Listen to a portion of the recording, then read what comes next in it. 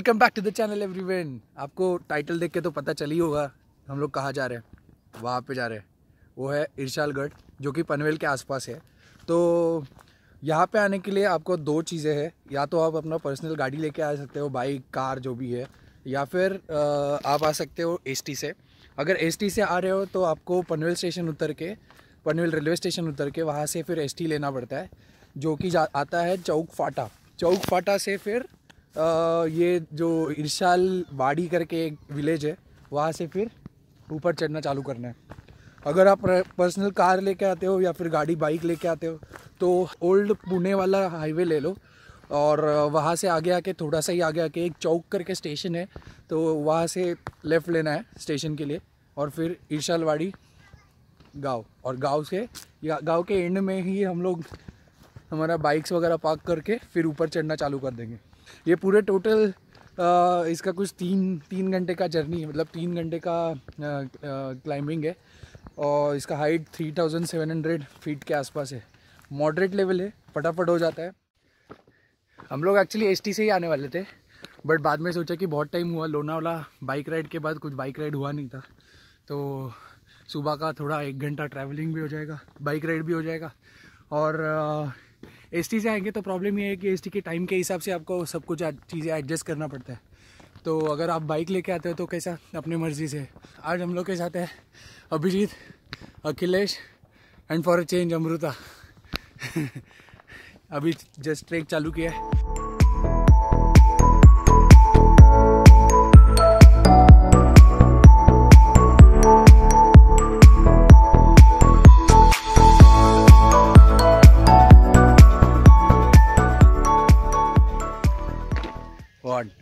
Wondering about this change is important तो 2019 का एक पहला चेंज तो ये है मोरबे डैम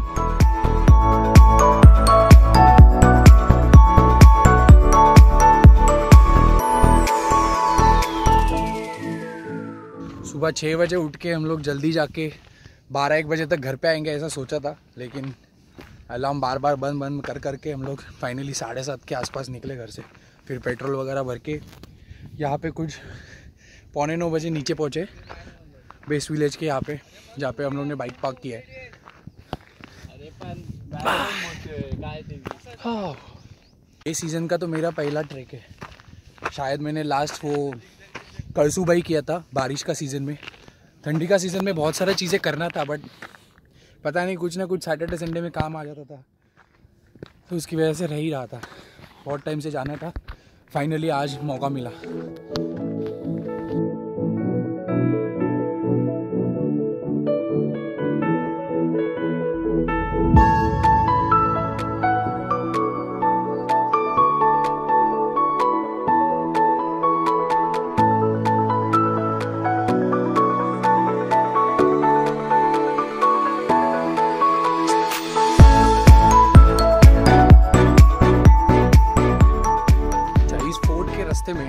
भी ज़्यादा दुकान वगैरह या नहीं, वैसे गाँव वाले हैं, लेकिन वहाँ पे शॉप्स वगैरह नहीं है। तो इट्स बेटर कि आप इनफ फ़ूड और वाटर कैरी करें। अभी ठंडी है तो ज़्यादा पानी लगता नहीं है, लेकिन अगर आप गर्मी के मौसम में अगर ईशालगढ़ आ रहे हो तो बीच में कुछ भी नहीं है। So you have to carry at least two litres of water इसका इनिशियल जो एक घंटे का पैच है, वो ऑलमोस्ट कम इंक्लिनेशन वाला है तो ज़्यादा थकने होगा नहीं। फटाफट फटाफट आप कवर कर सकते हो। उसके बाद जो मेन क्लाइंबिंग है, वो वहाँ से स्टार्ट होगा ऊपर।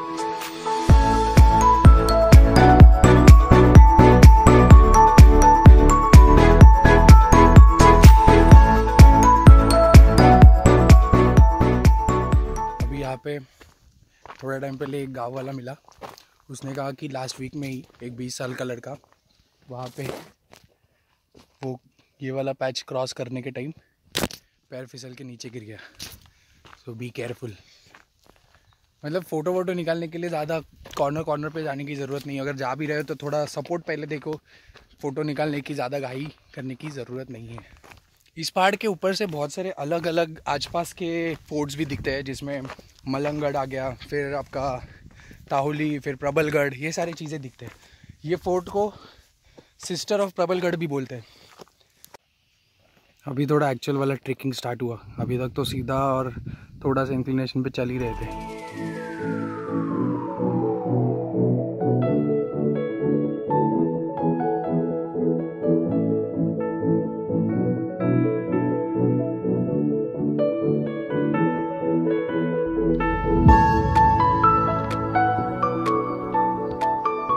वैसे इस ट्रैक में कुछ डिफ़िकल्ट पार्ट्स है नहीं।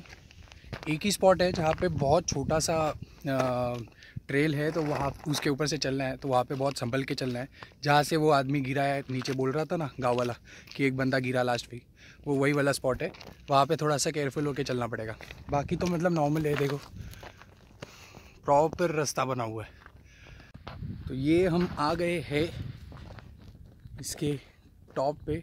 ऐसा लोग सोचते हैं, लेकिन ये एंड नहीं है। यहाँ से पीछे से एक रास्ता जाता है, जो इसके, ये पीक के, थोड़ा पीछे की तरफ़ जाके रुकता है। तो अगर आप आ रहे हो तो ये एंड नहीं है ये ट्रैक का। आगे जाना है अपने को। थोड़ा पानी पी के निकलते हैं आगे। मलंगढ़ के टॉप पे भी ऐसा ही सीन है कि ऐसा एक फ्लैट पोर्शन आता है, उसके बाद मलंगढ़ एक साइड से चल के जाना पड़ता है।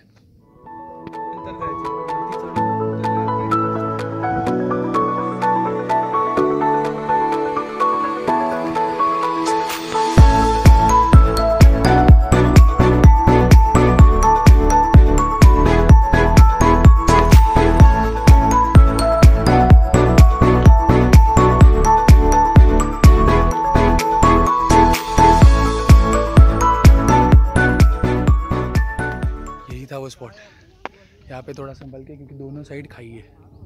तो बी केयरफुल यहाँ पे। यहाँ ऊपर आने के बाद दो स्पॉट्स है। एक जो है ये, यहाँ पे थोड़ा आप बैठ के टाइम पास कर सकते हो और व्यू का एंजॉय व्यू को मज़ा ले सकते हो व्यू का बेसिकली और दूसरा जो है, वो ये ये पिनाकल के पीछे है। तो उसके लिए हमें यहाँ से थोड़ा सा नीचे उतर के, यहाँ से नीचे जाके वहाँ पे चढ़ना पड़ेगा। चलो अभी वहीं पे जाते हैं।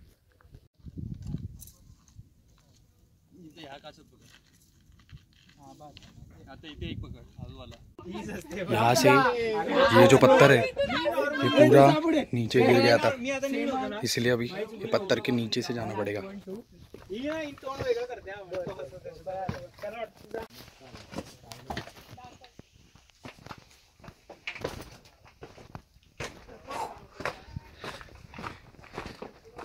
ये देखो, ये पूरे पत्थर सारे ऊपर से गिरे हुए हैं। देखो क्रैक्स बारिश में साला यही प्रॉब्लम रहता है।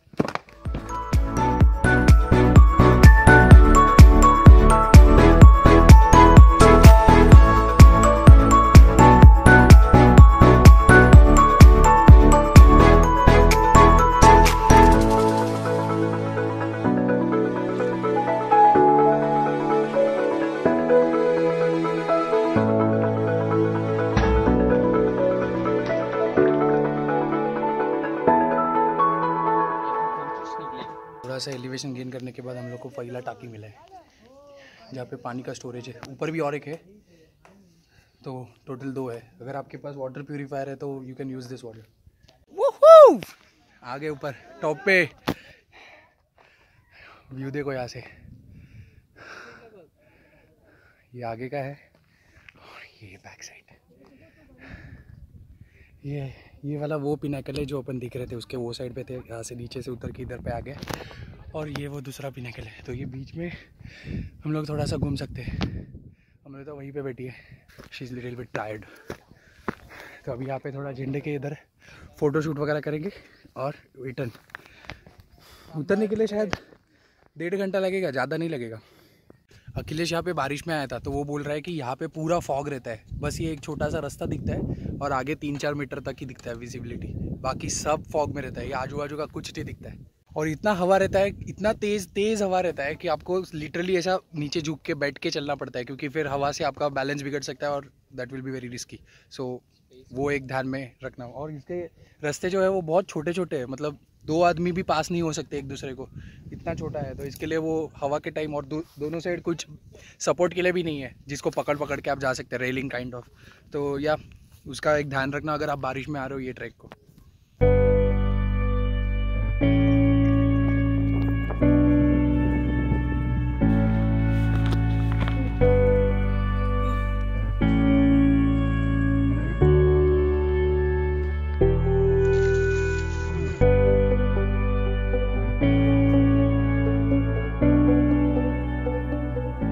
सेकेंड टैंक चलो एक बज गया। अभी रिटर्न जर्नी स्टार्ट करते हैं। यहाँ पे एक केव है वो केव देख के नीचे। जो लोग यहाँ पे स्टे के लिए आते हैं वो लोग ये केव केव मतलब ऐसा प्रॉपर ऐसा अंदर तक केव नहीं है। नॉर्मल थोड़ा शेड है और एक प्लेन सरफेस है जिस पे आप अपना टेंट बिछा सकते हो। हो गया। अभी चलते एक दो थोड़ा रिस्की स्पॉट छोड़ेंगे तो बाकी ट्रेक एकदम मस्का है। मतलब ऐसा थोड़ा एलिवेशन पे चढ़ना है। दैट्स इट ओवरऑल अच्छा एक्सपीरियंस था। आई पे टोटल चार या साढ़े चार घंटे पे कंप्लीट कर सकते हो। दो, ढाई घंटा ढाई घंटा चढ़ने के लिए और एक आधा घंटा टाइम पास फिर एक घंटा, डेढ़ घंटा रिटर्न जर्नी के लिए। So guys that's it from the Irshalgad बहुत छोटा सा था, मज़ा आया, लेकिन अगर आप आ रहे हो तो मैंने जो भी बताया उनको ध्यान में रखो, सारी चीज़ें। और अगर वीडियो अच्छा लगा है तो give a big fat thumbs up and like it share it with your friends and subscribe to my channel मिलते हैं ऐसे ही किसी वीडियो में। तब तक के लिए घूमते रहो, घुमाते रहो and have fun in your life guys bye